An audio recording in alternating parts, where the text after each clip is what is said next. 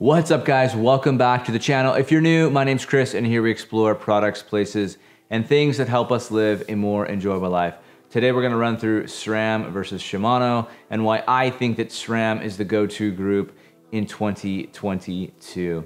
Now this week I'm stoked, we're gonna be traveling a little bit. I'm gonna be up in Utah, training with the team out of Salt Lake City. They've invited us out for a couple days. So we're gonna cruise around Southern Utah and enjoy some riding out there. And yes, I will be bringing the SL7 and not the Aethos because, yeah, I still have the SL7, so I'm gonna ride it while I have it. Before everybody runs to the comments and said, dude, you're nuts. How is it that you could say that SRAM is better than Shimano? Shimano's so smooth, it's a superior product. Let me just say that I think both of these brands make phenomenal group sets.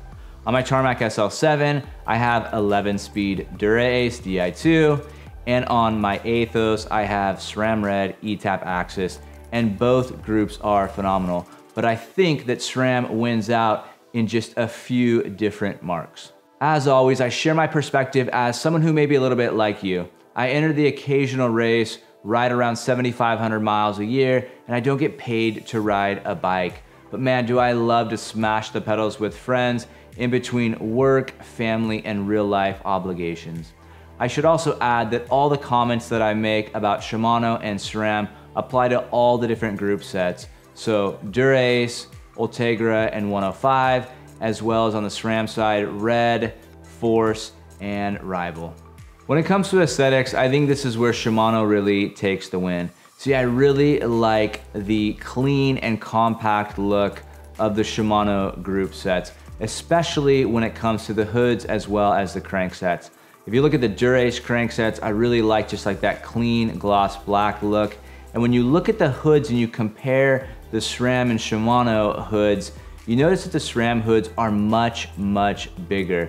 In fact, when I went from Shimano to SRAM, it took me a minute to adjust to the hoods and they just look enormous coming from Shimano. That being said, they don't look terrible, but I do think that Shimano takes the win here when it comes to aesthetics. While aesthetics are mildly important, functionality is incredibly important. And here I think these group sets tie they're just different. I wouldn't say that one is necessarily better than the other, and I think it boils down to a lot of personal preference.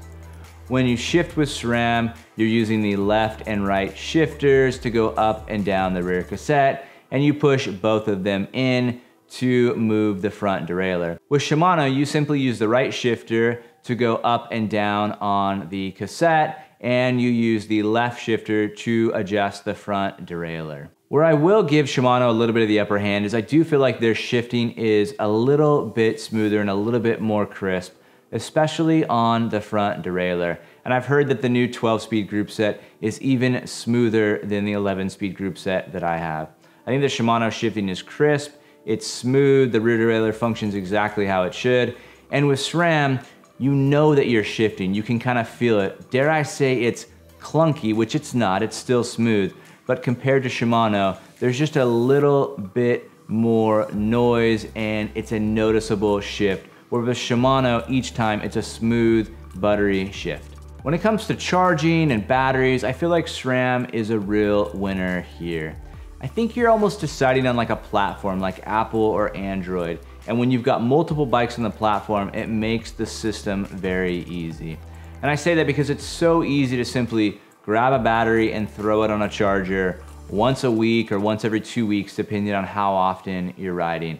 And if you've got multiple bikes with AXS, you can simply swap between the different bikes.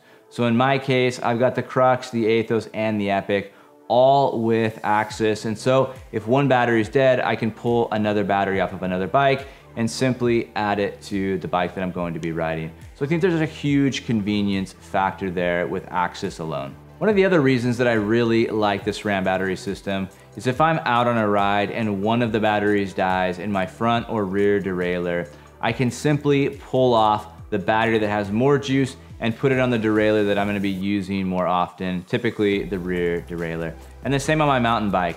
If I happen to have a battery on the rear derailleur that dies, I can simply pull it off of the dropper and put it onto the rear derailleur and it'll have enough to get me home without any issues.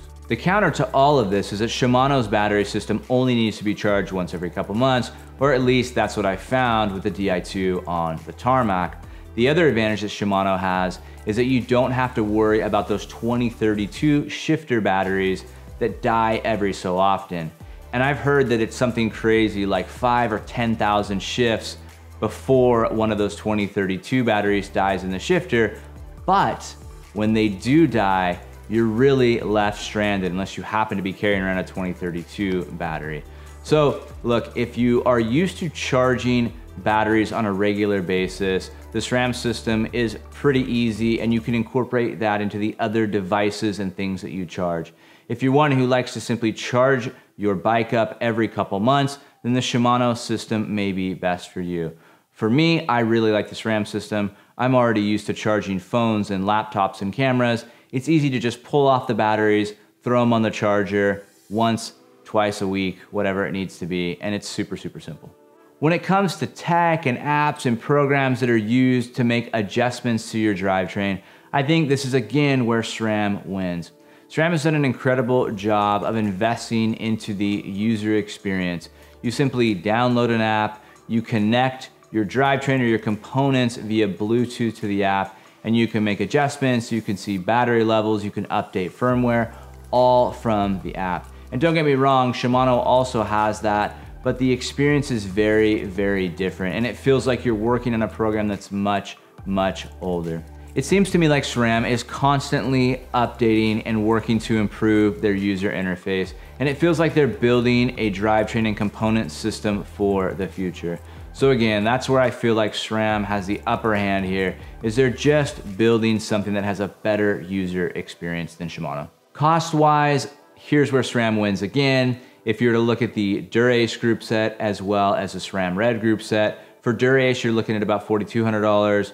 For red, you're looking at about $3,700. And then the other group sets trickle down and are priced accordingly. So again, the winner here is SRAM. Save a few hundred dollars.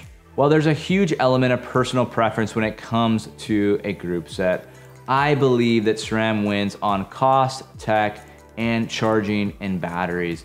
And that's why I believe it's the platform for the future. And that's why I've outfitted the last two bikes that I've built with SRAM ETAP AXS add in the Epic, which has AXS, and now I've got a whole family of SRAM bikes and it just makes everything incredibly seamless. What do you guys think? Do you agree? Do you disagree? Which group sets do you like and why? Or which one's the value group set out of all of these? I'd love to know your thoughts. Drop me a comment below. And until next time,